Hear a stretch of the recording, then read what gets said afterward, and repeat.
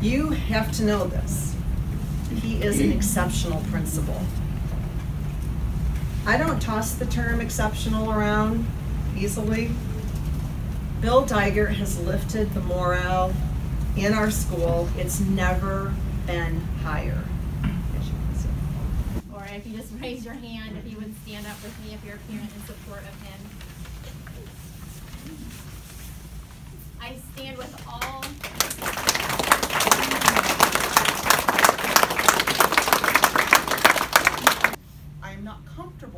Sending my children to a school that, that does support poor decision-making.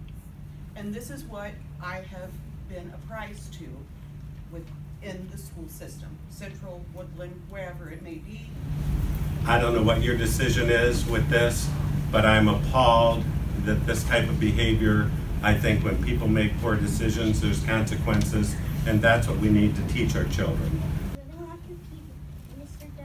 as our principal because he is always kind-hearted and he has a smile on his face all the time.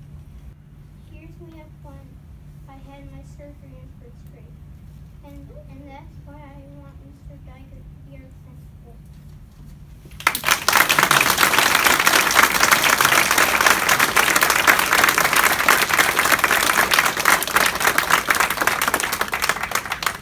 Thank you, Aiden.